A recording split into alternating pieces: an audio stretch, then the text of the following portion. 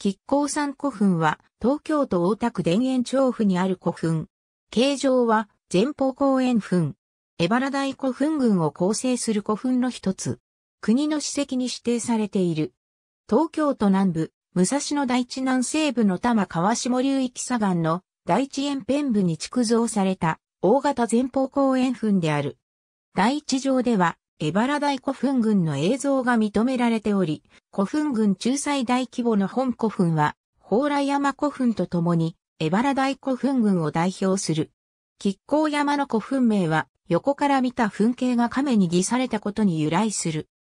これまでに公園部墳丘の南端が、浄水場建設に伴い作兵されている他には、墳丘は良好に依存し、考古学的には大田区教育委員会による測量調査が実施されているが、発掘調査は実施されていない。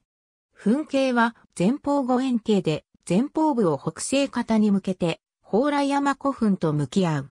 墳丘長は107.25メートルを測り、南武蔵地域、玉川流域で最大規模になる。墳丘は二段築成。墳丘表面で吹き石、埴輪は認められていない。主体部の埋葬施設は未調査のため明らかではない。築造時期は古墳時代中期の4世紀抜用マイナス5世紀初頭頃と推定され、エバラ大古墳群では、蓬莱山古墳に次ぐ時期の主張母に位置づけられる。古墳域は1928年に国の史跡に指定されている。